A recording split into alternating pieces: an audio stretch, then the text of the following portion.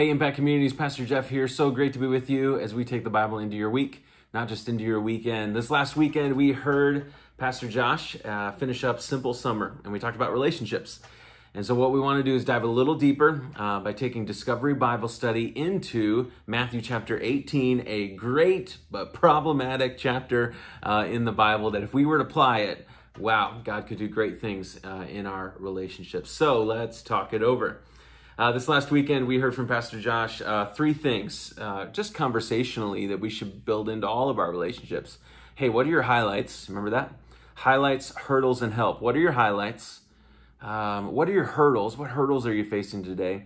And how can I help you? So, both how can I help you, and then also how can God supernaturally help you? And so, as I was even thinking about Pastor Josh's message this last weekend, I was thinking about what area do I double down on when it comes to those? Like, what are more a part of my conversation than the others? Uh, which of those three highlights, hurdles, and help are non existent in my conversations? And so uh, I would say I probably land in the area of highlights, like uh, my conversations on the weekend, as well as my conversations with my kids. Um, it is often, hey, tell me about your day. Tell me about the highlight of your day. Um, hey, what's exciting that happened today? Um, I really double down there and I think about these other two areas and I'm like, wow, this is really good for me to know. Like, it's good for me to uh, take a lap around again. Um, it's not a revolutionary thought or even out of the blue. Even when you heard it this last weekend, I'm sure it was like, yeah, that makes sense. And I see why that's important. Are we incorporating that into our conversations, into our relationships? Simple relationships. So great. Here's a question What happens when it's not so simple? Um, like, I really want to take us there today as we uh, unpack a chapter of the Bible together in Discovery Bible Study. And when relationships get messy, uh, one of my go to chapters in the Bible is Matthew chapter 18. Uh, Matthew chapter 18 is this like really eclectic like it's just all over the place. Four four verses on this five verses on that. This is what jesus said here. He goes to a different place there.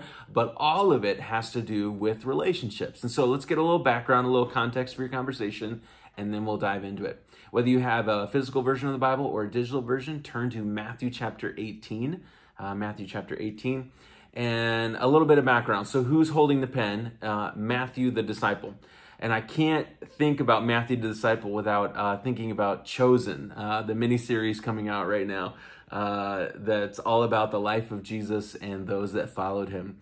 In Chosen, if you haven't seen it, uh, Matthew is this really odd character, uh, but he's really he's into the notes and he's into the details and he's into all those things, and we see that actually come out in his gospel.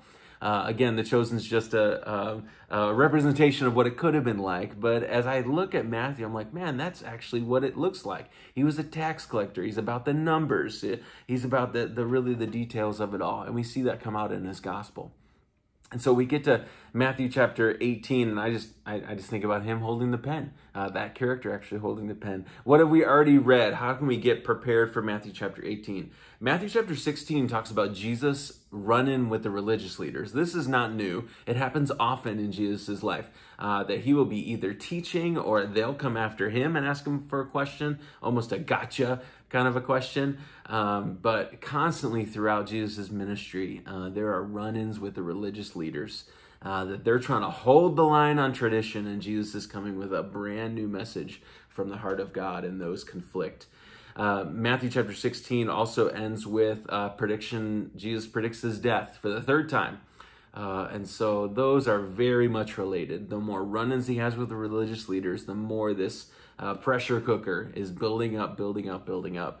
Um, so that's Matthew chapter 16. 17, we see the transfiguration.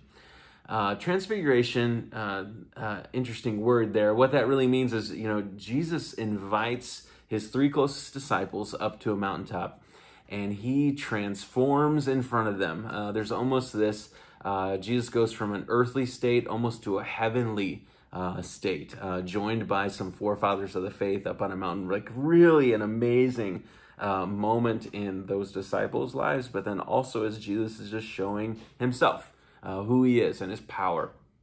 Uh, in that. So, coming off of that gets into Matthew chapter 18. And Matthew chapter 18 starts with this question Who is the greatest in the kingdom of heaven? The disciples go to Jesus and say, Jesus, of all the things you've shared, and we're confused about most of it, I'm sure, but uh, who, who is the greatest in the kingdom of heaven?